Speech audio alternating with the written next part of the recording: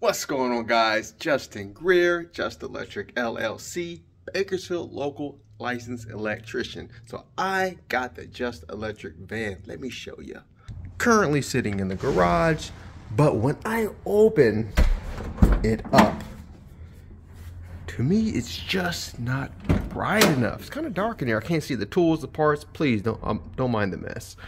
Stock light there for the cargo, stock light there for the cab. To me, it's just not bright enough. So what I did, I went out and purchased these LED lights. Actually, I got them from Amazon.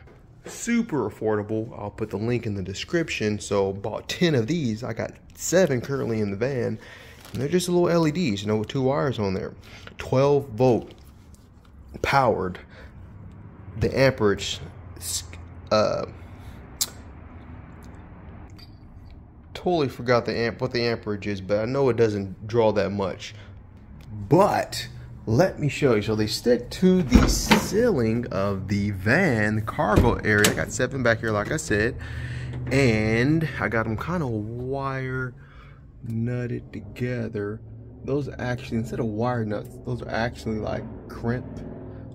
They're like shaped like wire nuts, but they're actually crimp on connectors.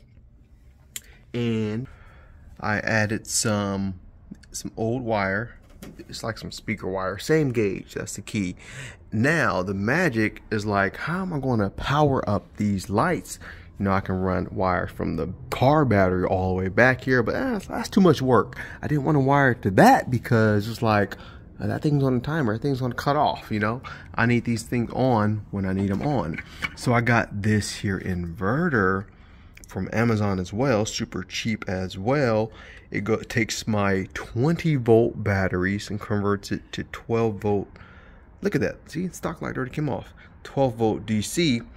And let me plug one of these bad boys up. Look how much brighter that is. It it does wonders. You know, the whole cab is lit up, and I can literally see to get my parts and my tools out. So look at that. All that is is just a battery by itself and an inverter or a converter. Now, you know, most guys who use vans for work, they probably have batteries on deck anyways. Me, I have my charger here, and this charger is plugged to an inverter that is plugged up to a cigarette lighter that's tucked back there. See, that's totally independent from these lights. This is just so I can charge up my batteries in between jobs. I got tons of batteries. So the ones that are charged, I have a spare, just plug it in there to this converter for the lights when I need it. And there you go. The cab is lit up. So wham bam. This is like the cheapest way and the most efficient way that I seen how to light up the back of this here Ford Transit Connect. This is the smallest model um, of the Ford Transits. And of course, I still got to do some cable management. I'll probably uh, tape up the wires to the uh, ceiling there. But yeah, that is pretty much all you need. I mean, I'll put a link in the description for this converter and I'll put a link for the LED lights. But I really thought I had to share this for folks who have a van and realize they need some more light back there. All you need is some LEDs and some battery power. Or if you do the LEDs, yeah, you could wire it to the battery of the vehicle as well. That's another option. But for me, I chose to go this route.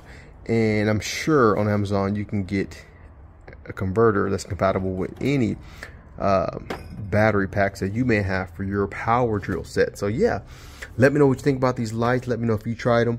And uh, thanks for watching. Justin out.